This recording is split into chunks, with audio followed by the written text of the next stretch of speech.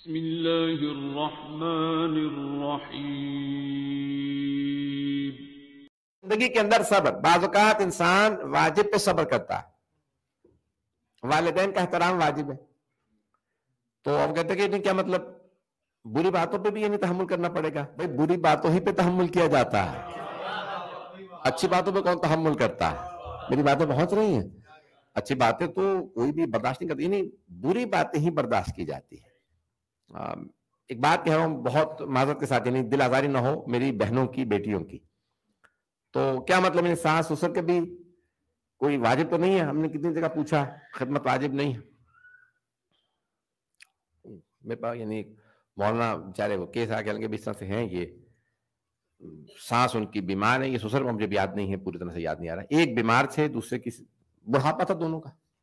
नहीं वाजिब तो है नहीं। तो अब वो खाना मैं नहीं देती हूँ दोपहर में। तो खुद ही खा लें।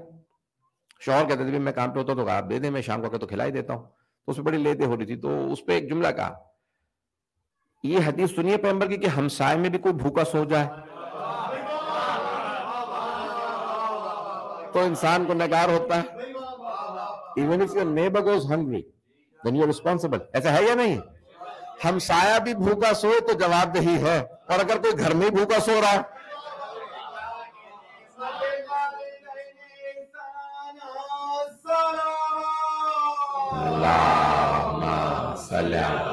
मोहम्मद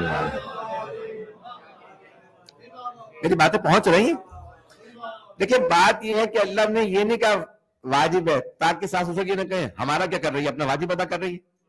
ताकि ये कहा कि भाई अगर ये कोई काम करे तो सास ससुर भी उसको अप्रिशिएट करें कि भाई वाकई नेक है। बहू और बहू भी महसूस करे कि हाँ मेरा फरीज है। तो ये अल्लाह सुबहान ताला चाहता है कि सब एक दूसरे को अप्रिशिएट करें। सब एक दूसरे का तशक्र करें से पास गुजार हो, मोहब्बत से पेश आए। ये ना हो कि हर आदमी दूसरे को ताना दे रहा। इस्लाम में आज एक बड़ी अजीब गरीब मगरबी दुनिया में बहस शुरू हो चुकी है कि राइट्स की।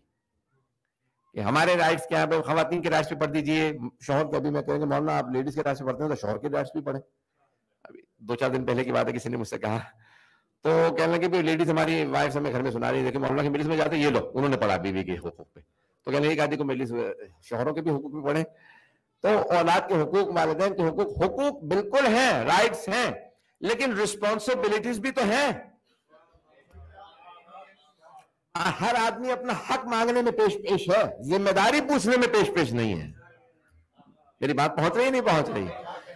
ज़िम्मेदारी भी पूछिए, इंसान खुद ब खुद अपनी ज़िम्मेदारी को देखे तो इंसान